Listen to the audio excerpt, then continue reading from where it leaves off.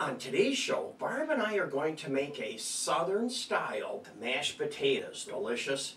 And the instant mashed potatoes, we're going to make them with milk and cream and cheese. Let's get started.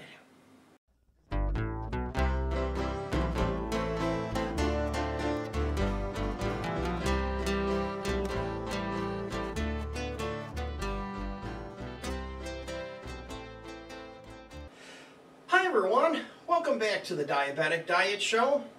And here's Barb with the question of the day. Do you like potatoes? If you like potatoes, give me a thumbs up. Let's start out with the mashed potatoes. Boiling the water seems to take the longest. So the way I do this is I get my fire going on my pot and I use equal amounts of water that I do to my potatoes. So here is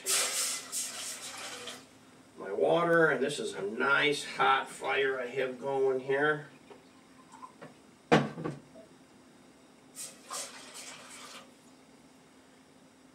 Just like that.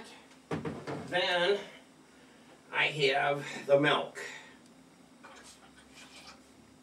So there is your milk.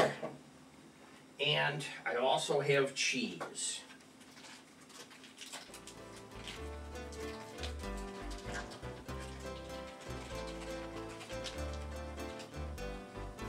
Hard to get out of this package.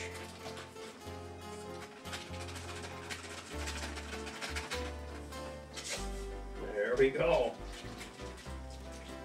That is great. Then we'll wait and bring it to a boil. When it comes up to a boil, then we can put our potatoes in. It's just starting to boil. Let's go through some of our ingredients.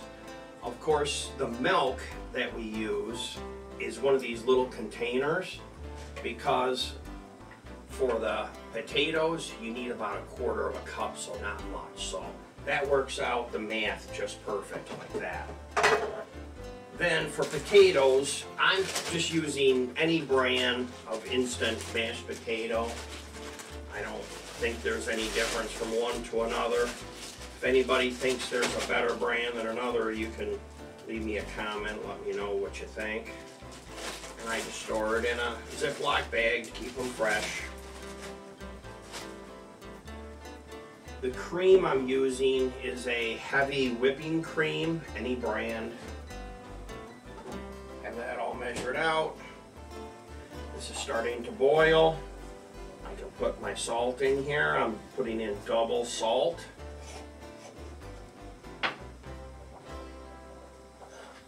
And some pepper. Mix this up.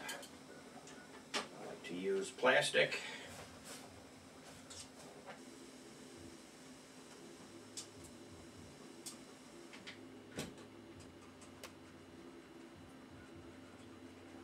Okay, fantastic. You know, you have to stay here and watch when you're doing something like that. Because once it gets to that level, it really wants to rise.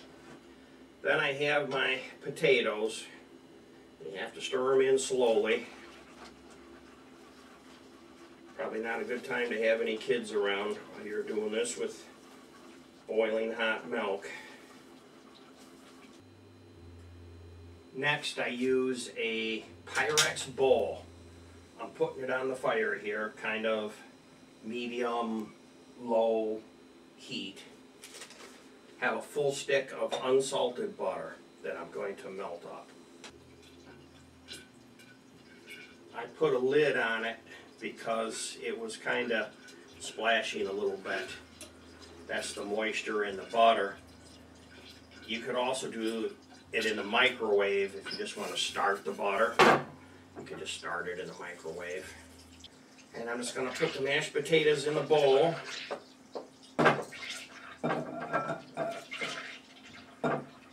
Carefully so I don't splash.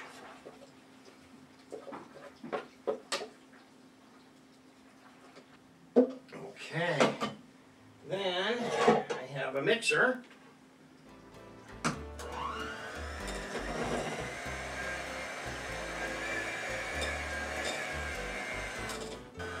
These are gonna be fantastic because the amount of air that is getting in these potatoes right now and all the ingredients are getting thoroughly mixed and blended in.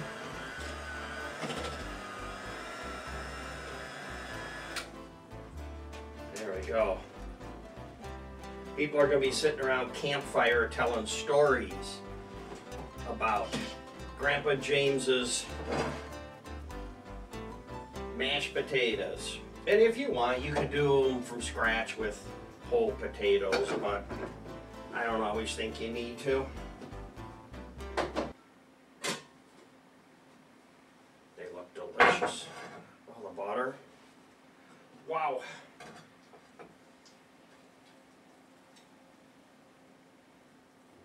Mm.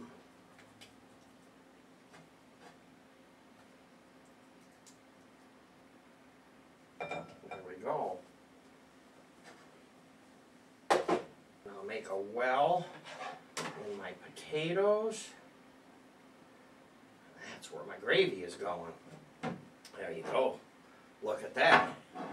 that's that's great. Wow, if you like making things like this, here's two more just like it.